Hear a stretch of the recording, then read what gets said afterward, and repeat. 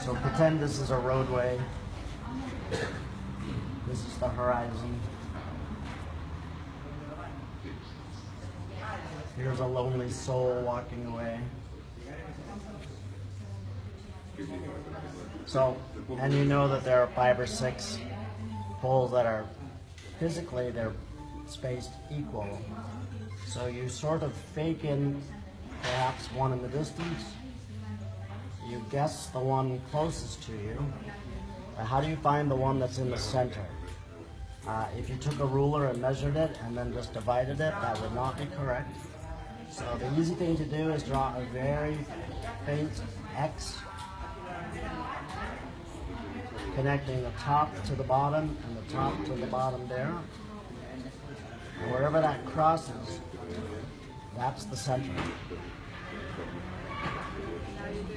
Obviously that looks much closer because things tend to look smaller and closer together as they recede in space. And then you just continue doing that. And that's the center of that. That's the center of that. And on and on to infinity. It's just a very easy but very useful way to break up space without having to get too lost in the, uh, the weeds. So if you're drawing an arch, the very same thing applies.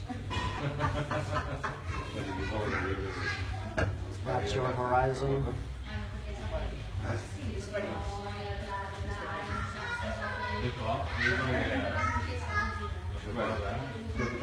So this would be a good example, but if there are four arches in this wall, for example,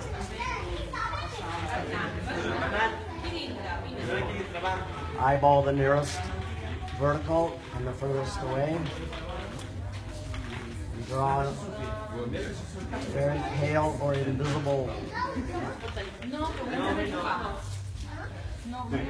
That's the center. Do it again.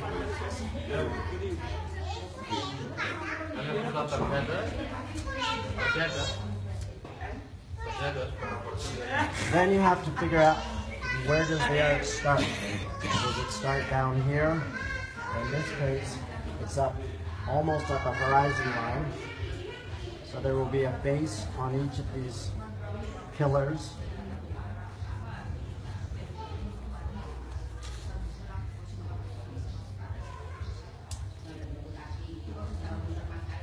And they have four sides, that you can see.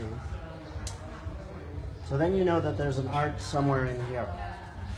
The exact principle. Do you take a ruler and measure that? No. You can, but then your arch will look lopsided. So the arch begins to spring from there and there, and you need to find the apex. So you just do an X between that and that. That's the center of the arch. Then you just connect the dots.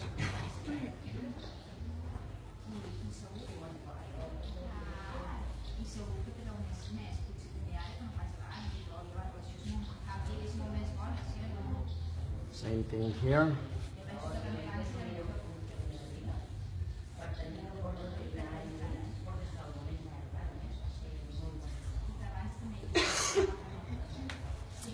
So uh, arches have depth almost always. If they're stone, of course, they can be quite thick.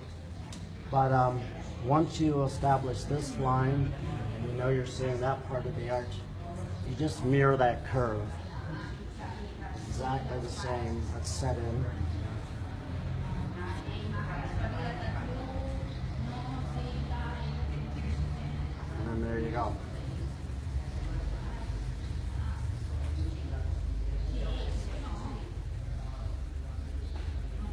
And once you do that a few times, you can start seeing these X's in your mind without actually having to draw them all.